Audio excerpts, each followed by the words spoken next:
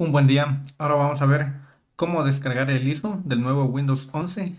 Eh, previamente necesitamos cumplir ciertos requisitos. Yo voy a dejar en la descripción de este video los enlaces en, en el cual, por ejemplo, en esta página, en la primera, nos vamos en la parte final y vamos a descargar el Health Checkup para ver la compatibilidad de nuestro PC. Por ejemplo, acá yo lo tengo ya ejecutado, instalado.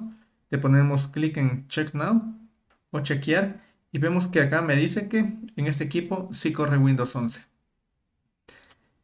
Cuando ya nos aseguramos de esto, nos vamos acá donde dice descargar Windows 11. Igualmente les voy a dejar el enlace de esta página y tenemos varias opciones para instalar Windows 11. Uno con el asistente de instalación, que sería la, la mejor opción simplemente para actualizar.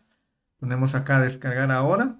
También podemos crear soporte de instalación de Windows 11 o descargar la imagen ISO de Windows 11. Si quieren acá, por ejemplo, seleccionan Windows 11, hacen clic en descargar.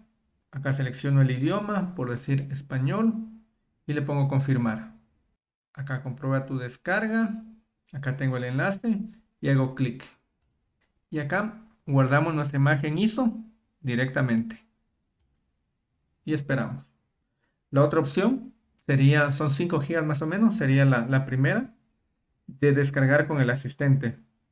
Le ponemos clic en descargar ahora, guardamos, ejecutamos el asistente.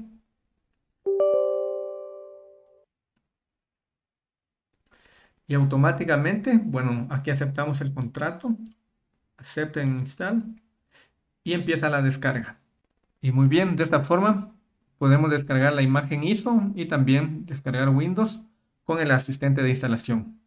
Si te gustó este video, dale una manito arriba y nos vemos en una próxima oportunidad. Muchísimas gracias y no olvides suscribirte a mi canal.